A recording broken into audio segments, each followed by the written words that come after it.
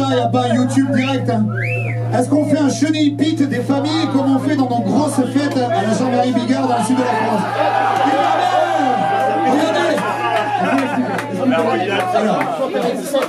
Ouais, bah c'est vraiment. Alors, un truc de mec du sud, ça arrive beaucoup avec un truc de gros bof.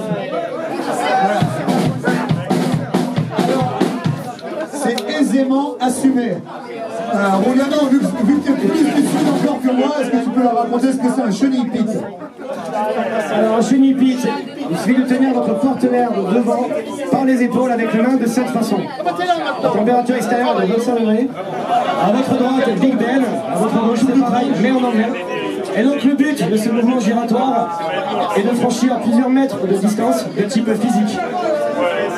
Et qui peut s'étaler vers des pièces ouvertes ou pas. Attention, là, c'est- Bien entendu, dans le cadre d'un cercle, comme ils font les Américains de Ok, on est bien, on le dit à personne, ok, on est des gros bofs, ça marche N'hésitez pas. Dans le respect des traditions et des tempos.